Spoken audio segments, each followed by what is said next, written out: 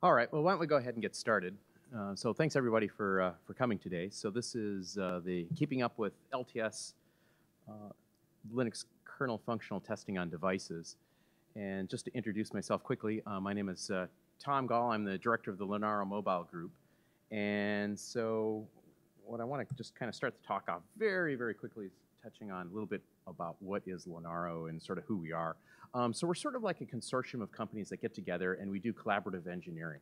Um, so kind of the idea uh, with Linaro is you have these member companies, they basically decide, hey, this is a, uh, priority in the open source world. We, they throw in uh, some of their employees, we have some of our own Linaro employees, and we work on various projects and kind of solve problems, if you will.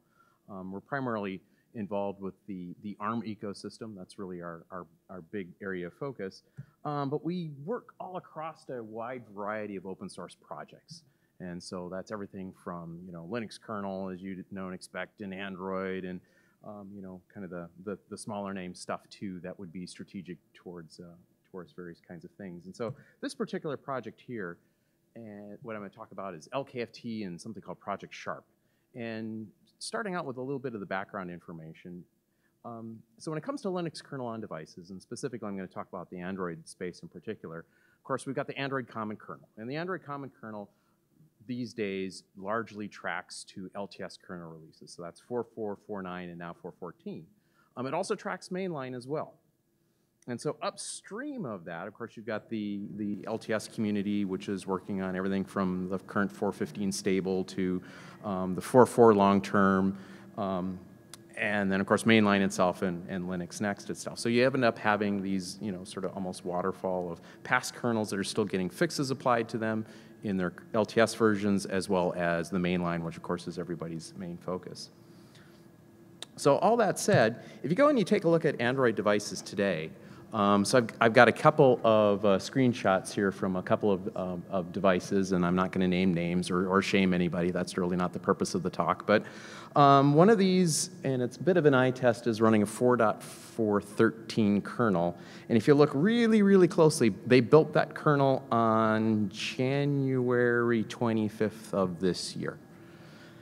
So 413, if you don't remember, came out on June 8th of 2016. That was a long time ago. Now, certainly, you know, this is a responsible company. They've been cherry picking, you know, security fixes and, and pulling down some things which are relevant. But they've left a lot of the LTS fixes behind. Um, that's, that's not great news. Now, the other one here is, is better. Um, it's a 4478, but still, that's all going all the way back to Jan, uh, June, July 21st of 2017. So that's almost nine months ago. That's still missing, you know, nine months of LTS fixes. And the thing about LTS in particular is the LTS project, long-term support project, it doesn't do anything to label security fixes. Um, so if there's a cert or something like that, sure, you know, that's, that's an obvious thing, but there can be fixes that go into LTS that it fixes a security issue, it also fixes a bug, and it may not be labeled as such. So unless you're really, really smart and picking up some of that stuff, you can be missing things. Um, the other thing that's very important to keep in mind is when LTS as a project releases, it doesn't test anything um, but all of the patches included in one one, one tarball as of one release. It doesn't test anything having to do with cherry picking. So when you're taking a patch out of the context of LTS, you're really losing out on all of the testing that's gone in and around the kernel engineering that's happened for that particular patch. So, you know, that's, that's an area of risk. Okay, so all that said, let's get into now kind of the point of the project and what I really want to talk about today, and that's something called Project Sharp and something called LKFT. And the goal of these two activities together is to catch kernel regressions.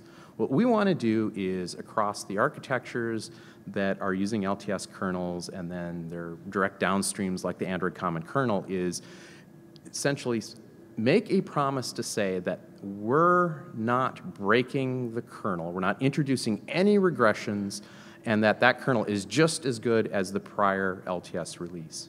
So this goes across 4.4, 4.9, 4.14, current stable, mainline, um, that we want to be vigilant in watching for, for regressions. Um, it also spans architectures. So while Linaro is primarily interested in ARM architecture, we knew when we took on this project that we couldn't just test on ARM to be, uh, you know, to be taken seriously in what we were trying to do. We also had to include x86, and we also have to be open to other architectures as well. And you know, this project is essentially, um, it was slideware one year ago. So in this past year, and you know, what I'm to be talking about is, is what's been accomplished in that period of time. The other thing that we we know is very important too is the use of compilers. Now, in you know, for the most part, across the, uh, the Linux universe, you know, GCC is the reigning king compiler that's used. But in the Android space, as it turns out, um, the switch over to Clang has begun quite a while ago for applications, and now it's happening for kernel development as well. So when it comes to finding kernel regressions, we need to take into account multiple different kernel or multiple different compiler versions, as well as multiple different compilers themselves between Clang and GCC.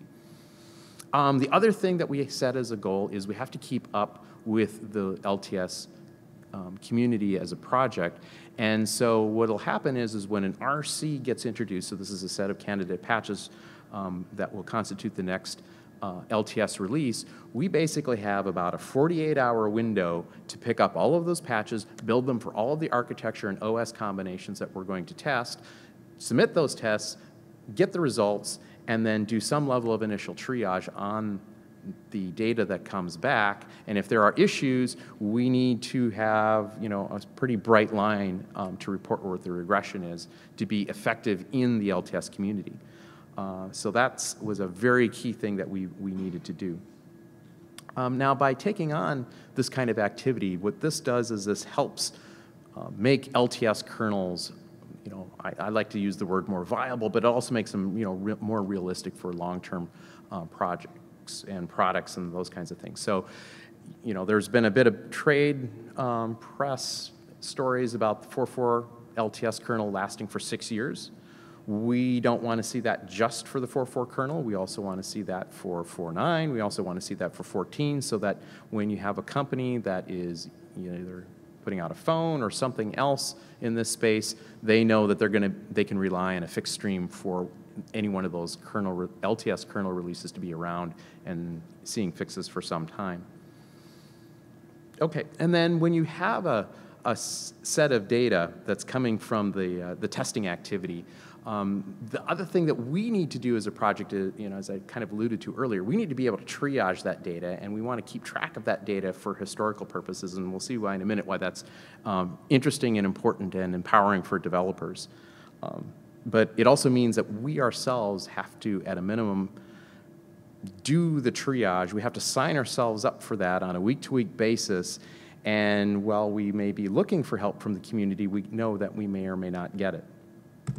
Okay, now, um, as with science, um, you know, there's the common saying you've probably heard where we all stand on the, shoulder, on the shoulders of giants, and there are numerous other, you know, kind of kernel testing activities that are out there. So when we started KL, LKFT, one of the things that we had to ask ourselves is, do we start from kernel CI? Do we build that capability in kernel CI?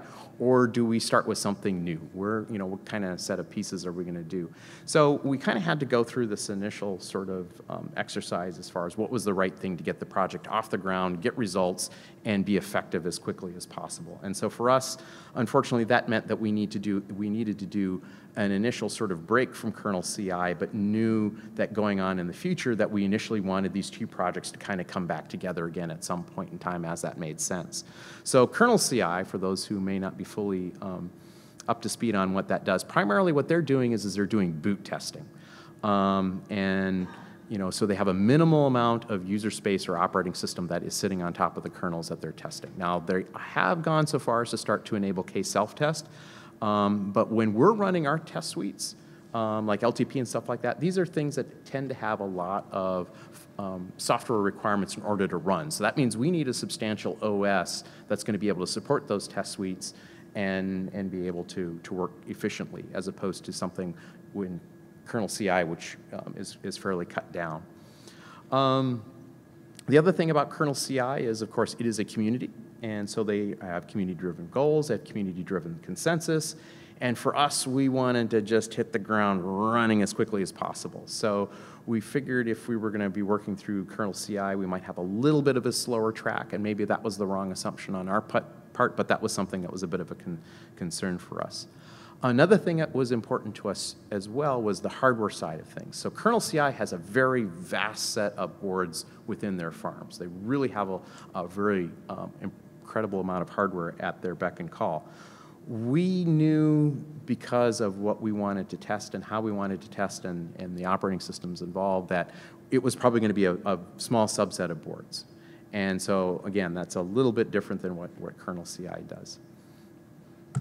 Okay, so moving quite along then, so LKFT, and I'm not going to read, read this chart here, but it's certainly available on the slides that are attached with the, um, attached to the schedule, is we really wanted to make sure that we would set up a system that was going to go from Git, repositories to emailed results, um, you know, and kind of set up a whole infrastructure. And so that infrastructure looks largely um, like this, where you have um, a Git tree, which is ultimately monitored. So in the case of the LTS trees, that's Greg Kroah-Hartman's trees. In the case of Android Common Kernel trees that we work with, that's of course comes from the AOSP project.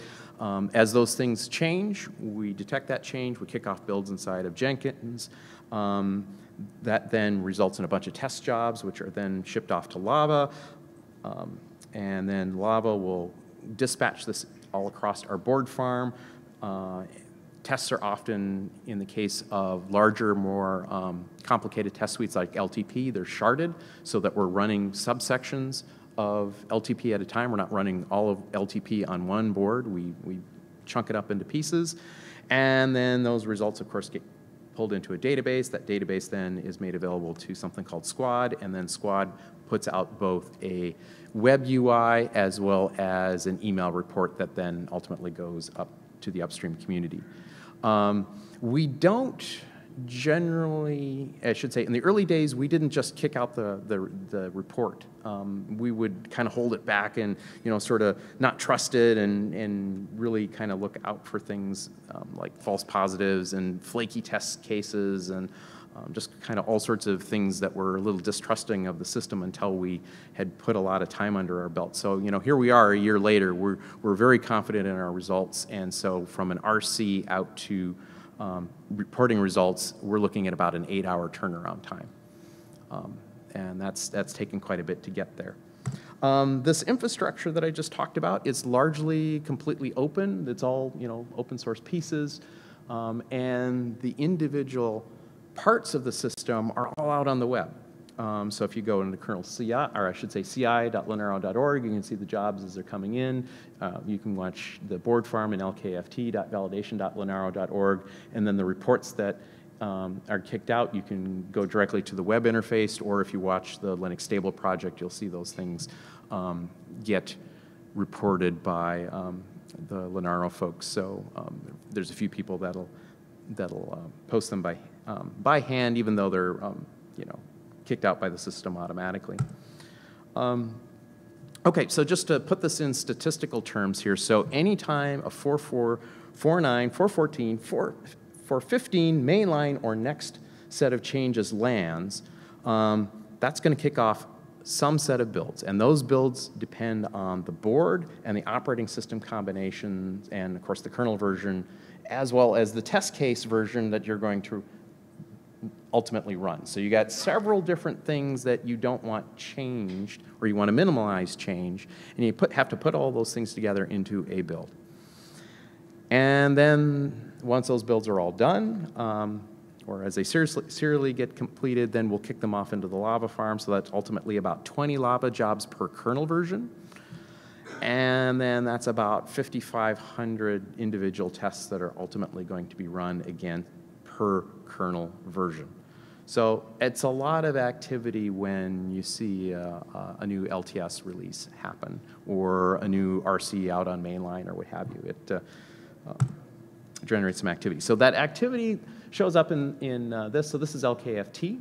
Um, it's a bit of an eye chart here, but down here at the bottom, there's a list of boards that are that data is getting kicked off of. So this is a, a, a screenshot of an active day that was uh, in February. So at this time, you know, we've got some B2260 boards from ST, we've got um, Dragon Board 410C from Qualcomm, we've got the, the HiKey board, which is a HiSilicon device, um, a Juno R2, which is a, a dev board from ARM. Uh, they're about, they're, they're fairly expensive, um, but they're nice boards. There's QM, we've got QEMU, and so in this case, we do QEMU for x86, but we're about to get both ARM 32 and ARM 64 running on the QEMU environment as well. Um, X15 was just a 32-bit ARM device from TI, and then of course good old bog standard x86 devices. And so, you know, of course, these queues will fill up as um, the lava jobs land, things gets dispatched, and ultimately then we'll, we'll start to see some results. So now I kind of want to go into a little bit of the, uh, the reporting side of the, the talk. And so what I want to do is I want to talk a little bit about some of our experiences along the way building the system and uh, what we've sort of discovered. So one of the things that hit us initially early on was is okay across all these different dev boards that are out here, um, different dev boards with different connectors are actually hard to scale up. Um, we have a standard called 96 boards, and as it you know, the nice thing about 96 boards is all of the connectors are in the same place, and so everything is more or less standard. So that makes the, that particular board design really nice and really easy to, to kind of set up in a system like this. Um, so that, that's, a, that's a really good quality to have um, when you're trying to build a system like this at scale. Um, reliability doesn't just happen. You, you end up having to write some checks for above average hardware.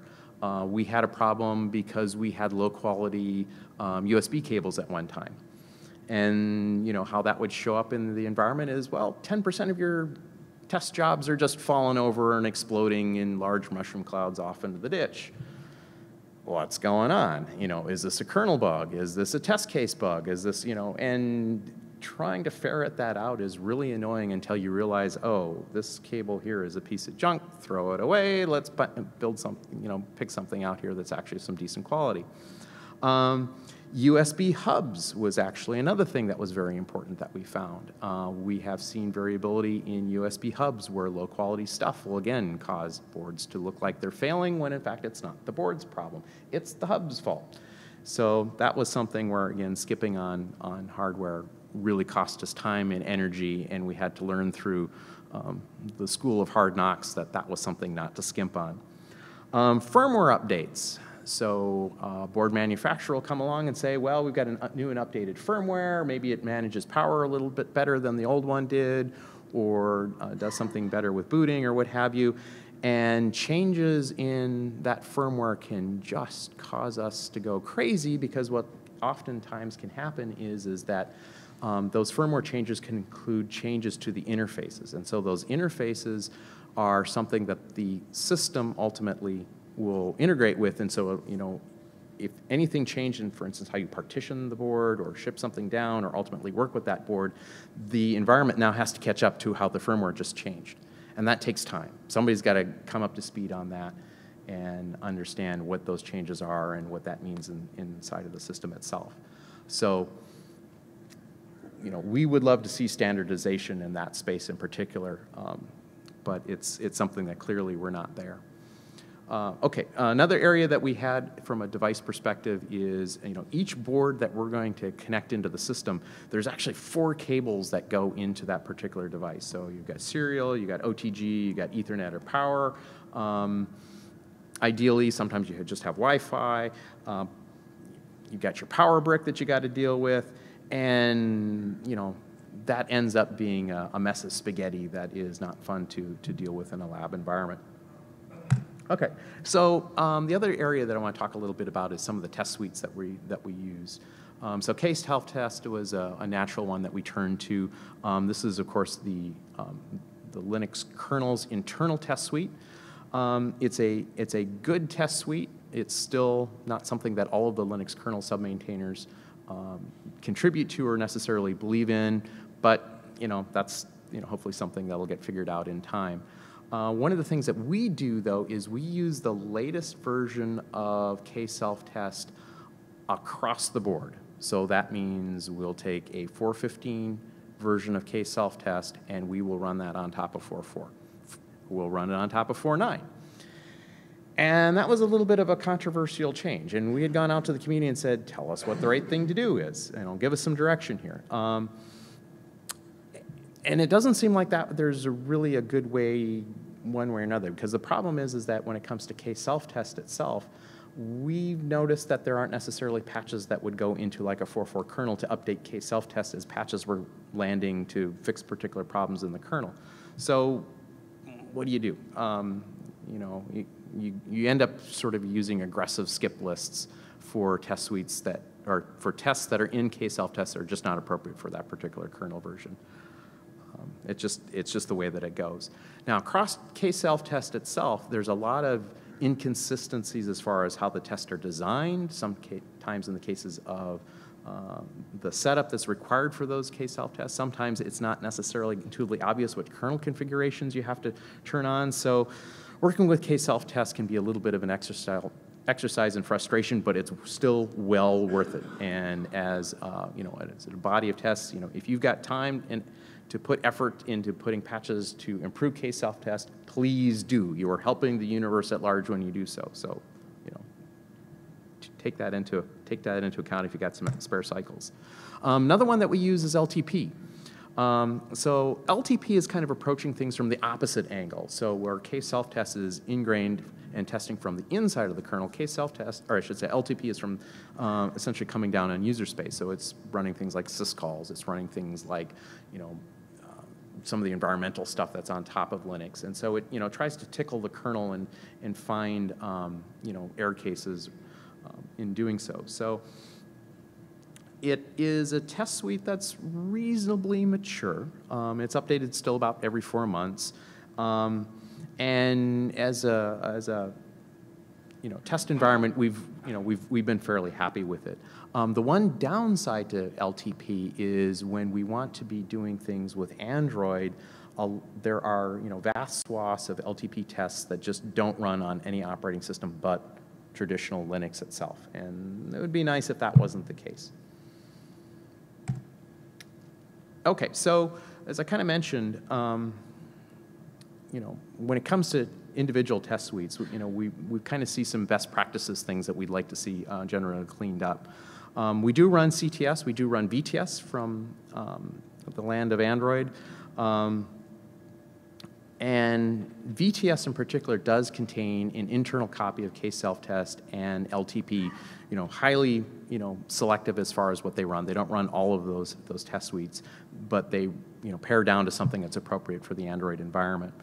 Um, and this reflects back into what I sort of had mentioned before with LTP in so much it makes assumptions as far as sometimes the hardware that it's running on, um, like for instance, they'll somehow, sometimes they'll go out and they'll make a three gig file. Well, if you're on a small embedded device, making a three gig file may not fit into the size of the eMMC that you have on the device.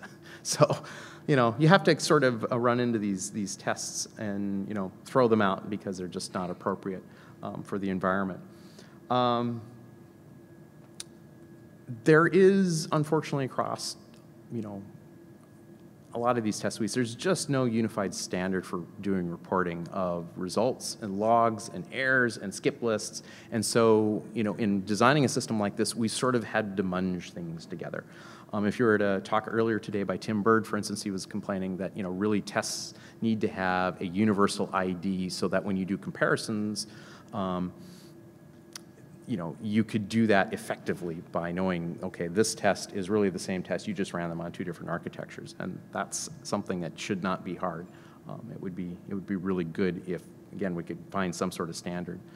Um, so on the case of um, reporting, um, you know, it's interesting that even like VTS and CTS, even though they're both from the Android universe, they come at reporting completely differently. and so that results in inconsistencies. K-self-test, when it runs, it throws its logs into slash temp. Uh, you know, it just, these things layer by layer, you have to kind of tear them apart and, and work with them. Um, okay, so let's move on to um, Android. And so I've mentioned that we work with the Android common kernel.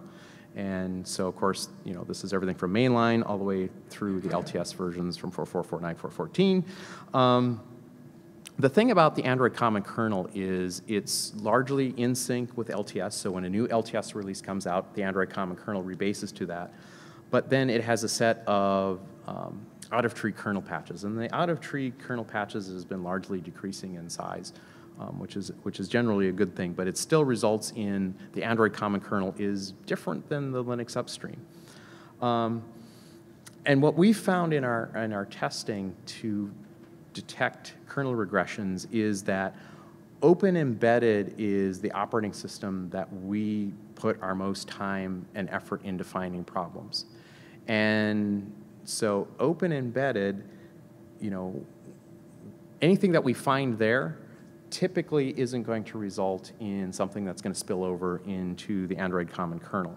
Um, anything that then is you know showing up as a regression in the Android common kernel tends to be actually from that you know set of out of tree kernel patches. So that's it's kind of a nice little way how things how things work. But we have a bit of a blind spot because as I mentioned, VTS contains a subset of LTP and it contains a su subset of K self-test because it's just not able to run everything. So, you know, this kind of doesn't feel right. You know, we like to, again, have parity in our testing so that it doesn't matter if we're on Android or if we're on Open Embedded, we can run everything. Um, but again, at least, you know, today, you know, Open Embedded is, is really our, our lead operating system, and it does seem to do a really good job in, in finding, finding issues. Okay, so as I mentioned before, just when it comes to keeping up with LTS as a project, there's, you know, maybe one to two, sometimes three LTS releases on the average week. And we have, you know, as I mentioned, we've got that 48-hour window that we have to deal with, and typically our turnaround time is, is we'll get results um, back in about eight hours. So if you think about that, there's really two ways to look at that process. There's building, running, and results. And that's results if you have everything that's green, everything worked out really, really well. And then you have that situation where you have an error and you have to figure out what's going on. Did you have something that went wrong with your infrastructure? Do you have something that went wrong with a board? Do you have something that went wrong for a particular family? So maybe it was across all of the ARM architecture where an error showed up. Maybe it was something that was specific to one board and you know one particular kernel. So you have to sort of take a look at the data in you know a number of contexts and figure out what all you know what's going on, and ultimately you want to bisect and end up with a fix that then you can report back. That's really, really hard to do in a 40-hour window. Um, matter of fact, I would say it's, for the most part, unless it's something pretty obvious, it tends to be next to impossible. You can bisect to say that this is probably the bad patch, but taking it that next mile and saying, well, here's exactly what you need to do to fix that, that's, that's where the difficulty comes in. Okay, so I want to start going through some examples, um, what LKFT puts out and ultimately what we report. So the very first thing I want to start out with is our most important me reporting mechanism. That's by email.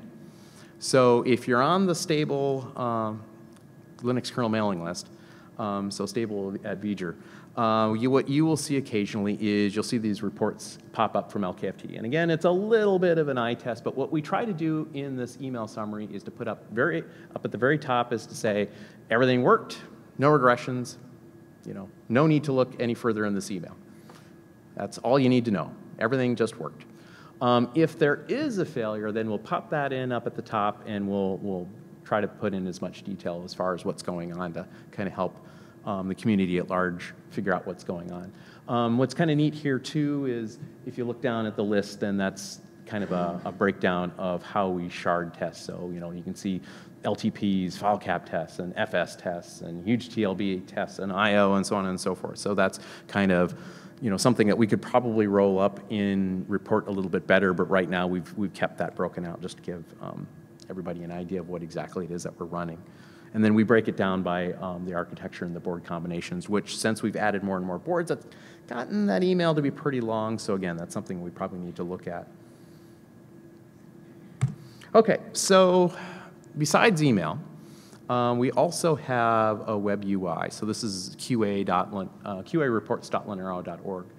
And so this is an example page specifically from 414. And so if um, if we had the, the whole window here, you know, it would go down to 414.19 and so on and so forth through time. And so we keep a, keep a long history of what's been going on. And in one of these, you know, so at the very top of the green one, you can see all the test runs that are there, and this is all something that's available on LiveLinks. The other thing that we have here up at the top, or I should say about in the middle of the page, is this is the metadata that goes with this particular build. So we think it's very, very important that we give enough information to have the, the commit IDs, the exact branches that were in use, and that includes not only the kernel, but the test suites that were involved, you know, the whole kit and caboodle, so that somebody can go and replicate this entire build outside of our own lab. They don't have to pick up our binary images to, to replicate everything. They can rebuild it specifically from source too if they want to. Um, that reproducibility is, is just huge in our world. Okay, so now in the case that there's an error, I've gone ahead and, and pulled out a, uh, um, this was again from back in February, an environment, time where we had uh, something where, where eight failures had popped out. And so this is something where, you know, if you're a triage engineer and you're looking at this, wondering what's going on, you click on it, and this will take you to a, a report page that's going to look about like this. And so this is one of those cases where, again, you're looking for trends you know, early on in the, in the stage. You're saying, okay, is this something that's just affecting one board? Is it affecting a whole architecture? Is it affecting, you know, all of, you know, everybody? In which case, you know, maybe this is a generic, you know, Linux kernel issue, and, you know, therefore the, um, you know, importance of trying to get to the bottom of it, in, you know, increases. Um, the other thing, of course, that you can see on this, this particular page then is you can see, you know, just for the LTP syscalls, you can see how many tests there were and how many passed. And um, you also notice that there are skips. And the reason why those skip numbers are so big is because there are tests in LTP which are not appropriate for all architectures. And so this is all sort of conglomerated together in the numbers that you're seeing. So when we look at a particular test run then, so we're looking now at, at one of the particular failures. This is on the 32-bit version. So the test environment is X15, so that's a, like I mentioned before, that's a 32-bit TI board.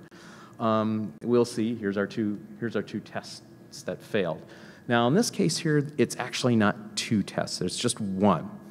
Um, the run LTP syscalls, that's actually the name of the shell script that runs that then kicks off a number of activities, and it's one of these sub-activities that failed. So that's the FA notify 06 that actually failed. But the nice thing that we've got in this environment then is, is we can go back and you know, click on that link off on the right-hand side that says show info, you'll see the log um, that's, that's there for that particular test run for that individual test case. So you're not looking at some huge file if you don't want to. You can zero down in on the individual data.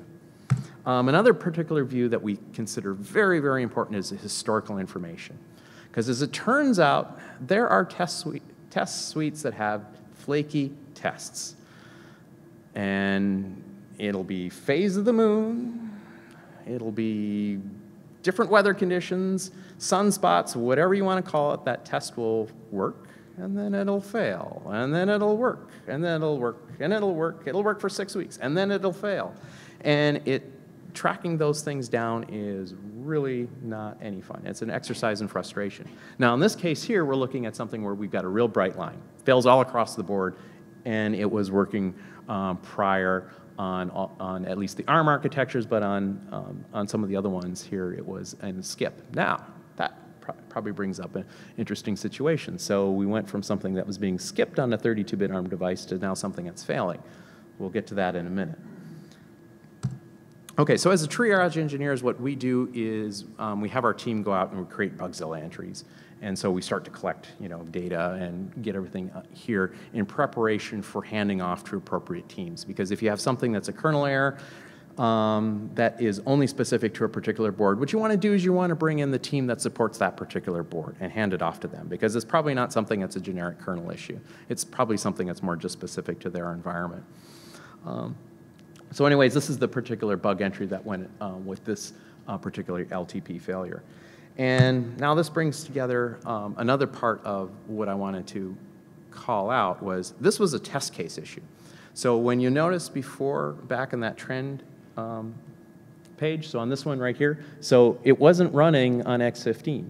And then suddenly it was running on X15, or at least it had been attempted and it failed.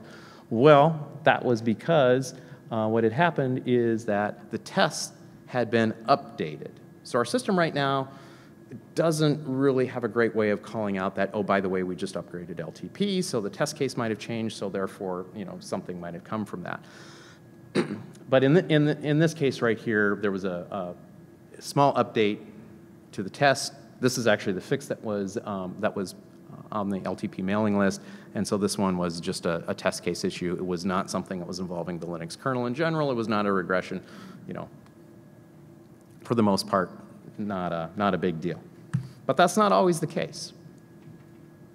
Um, in this case here, this is something that was from the hugetlbfs tests. And so uh, we had noticed something going on where um, you know, you'd get the failure in the hugetlbfs tests that we run. It's something that we were able to bisect. We'd go ahead and throw this out onto the Linux kernel mailing list and you know, notify the maintainer, hey, thank you so much for you know, the, the report. You know, we, we did our jobs. And therefore, you know, this bad patch was found, it was fixed, everything was, was kosher, which was great. Um, and that brings me to another thing that I, you know, I really want to point out here is while we're testing LTS and we're testing mainline and we're testing Android Common, the place that we find where the most regressions are is actually on mainline. So just like you would expect, you know, the most interesting place to do Linux kernel development is on the mainline kernel you know, no surprise here. And it's also, you know, you can see with regular, um, you know, so there's the regular cycle. So when RCs open up with RC1, you have the most current regressions that pop out, and that gets detected by the system. As you go through the RC cycles and get down to RC6 and RC7, those things disappear. Um, so it's, it's kind of, I think, affirming that the system is finding those things, it is seeing, and you know, that kind of helps you know, solidify in our minds that this is a good way to detect um, kernel regressions. Now, you know, we don't run every test suite on the planet. We think there are a lot of test suites that are probably need to be written yet. You know, more to be done, but at least this is a good start. okay, um, getting involved. Um, the biggest area that I think that people can, can get involved and help things out is actually in the upstream world. So, you know, there's the Linux stable list. So when an, you know, an RC comes out, you know, taking, at, uh, taking a crack at those patches, picking them up, you know, compiling them in those kernels and, you know, working with them in your world, you know, that's, that's a contribution to the community and that's, that's really meaningful. Um, you know, working with the mainline RCs, same thing. That's a really valuable thing to go off and do and spend, spend time and effort on. Um, improving tests and the test suites themselves, that's also a very, very good thing to go off and do. Um, so getting involved with K-self-test, you know, getting involved with LTP, you know, helping that kernel maintainer out who has a, you know, set of, of K-self-tests, or maybe they don't even have any K-self-tests at all. Maybe we can help, you know, you can help convince them to do that and you can just, you know, give them tests. That's a really, really, you know, good thing to do to, to uh, make the universe better, which is kind of what this is. This project is really all about. You know, finding these kernel regressions so that we as a kernel community can, you know, stand by our promise that we gave you a reliable kernel and we just gave you some fixes and we didn't regress those those you know we didn't regress the kernel, so that you can you know continue to have um, confidence in, in what's been uh, what's been given to you. And you know, for us as a project going forward, you know, we do think that more boards and more eyes ultimately are going to be making a, a, difference. Now, in our board farm, you know, we don't have a lot of boards, but we do have plans where we will um, be talking at Connect next week about how, um, you know, others can basically pick up Lava and LKFT and be able to run their own remote labs. You know, we, we think this is something that, you know, we would like to see more of and, and help out and make that easier to do. Um, working with Lava is a little bit of a challenge, at least it has been, but we've, we've put a lot of time and effort to, to make that easier. So um, look, for, look for that talk to be online here in, uh, I'm guessing, probably about two to three weeks. So, you know, another piece of this, you know, making the world better story is, you know, exercising more tests. And it doesn't necessarily mean exercising kernel tests either. You know, it can be just running user space code as well. You know, is that necessarily an effective way of finding kernel regressions? Maybe, maybe not. But you know, we have seen instances where, for instance, um, there was an LTS regression. It only got detected because DHCP broke, and it wasn't every version of DHC of DHCP clients. So the embedded DHCP client, clients were just fine. It was actually, um, you know, one that was um, the DHCP client that was on Ubuntu that found it. So you know, don't just take away from this that it's only K-self-test and you have to have kernel um, tests in order to find things. So that's it. Um, I guess I'll open the floor up to questions if everybody has one, and thanks for, uh, thanks for being here. Yes? Uh, Do you find that you uh, find problems with every time you run these regression tests, or is it like a few releases and you'll find one? How often do you find something? Um, so with LTS itself, LTS is really, really stable. It's a really rare day that you'll find a regression there. Um, in the case of, again, like mainline, like I mentioned before, that, you know, RC1, you're going to probably have maybe like 10 regressions that'll pop up from an average RC1 that we've seen.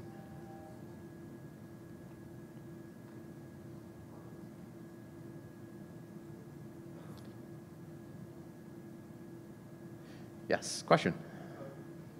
I noticed the uh, compiler was listed in the metadata just because it wasn't visible. Okay, so the question is, is um, the compiler wasn't listed in the metadata. So there's a little twist, twisty on that particular page, and so if I expanded it out, there's a whole bunch of information that would, would get included in the compiler as one of those. Um, LKFT is a project we, we're just about at that point where we're going to start turning on the ability to run multiple compilers. Um, so, you know, Clang-built kernels in particular are something that really, really is interesting to us.